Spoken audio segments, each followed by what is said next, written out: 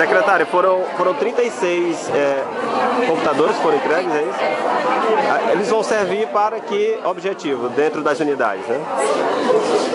Hoje nós estamos entregando 36 kits é, de computadores para cada uma das nossas 36 UBSs é, em prol de um programa do SUS chamado Qualifax SUS, que é justamente a qualificação da nossa assistência farmacêutica.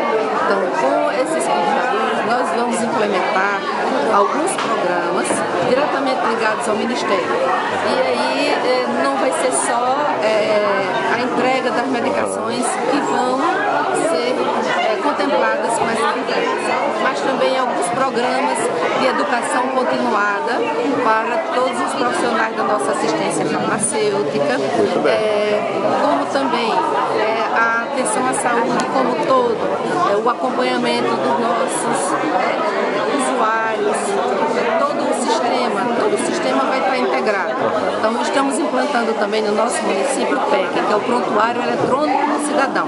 E esse programa está inserido uma vez que você vai ser atendido na sua UBS, então a medicação que você recebe vai estar no sistema, um outro médico qualquer que acessar o sistema vai saber qual é a medicação que você está usando. Se você na UPA, o médico lá vai acessar e saber qual é a medicação que você está usando.